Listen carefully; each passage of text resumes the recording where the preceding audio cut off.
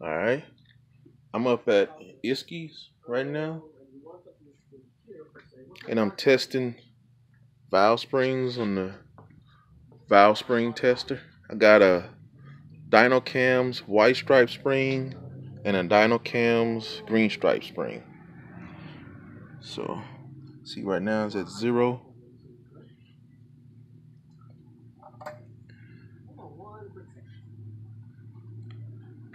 Right about there. Yeah, you see about 40 pounds on the dot at a one inch install height. White stripe. Let me go down to seven eighths. Right, it's almost 60 pounds. About 59 or 58 at a 7 eighths install height. 0.875. So now let's test the green. Fresh green stripe. Hold on. This thing went all the way backwards.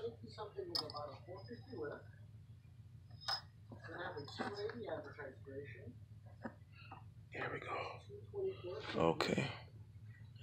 At one inch, let's see. This is green stripe. We got 25. Is it even 25 pounds? 26. That's about 26 pounds at a one inch install height for the green stripe, 26 pounds.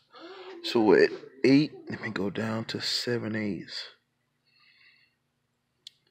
So seven eighths, seven eighths install height. It's about 45. I keep saying 45. That's not 45. That's 50 pounds, actually. That's 50. The line in the middle was about 49. It's almost 50 pounds. I'm gonna have to retest the other one again real quick. That's 875 install height. And the one inch is about almost 30 pounds.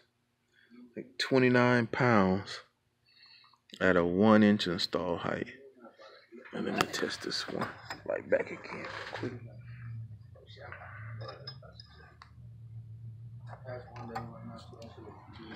Okay, let's do this white stripe over again. Yeah. At one inch, it's like almost 40 pounds at one inch. Right? And at 875 we had like 58 almost pounds at 7 eighths install height. Now let's see what they combine at real quick. Combine at what is that five? Like 506 something like that. Pretty much coil bind at 500 left. Half inch coil bind, pretty much. And with these green ones coil bind at?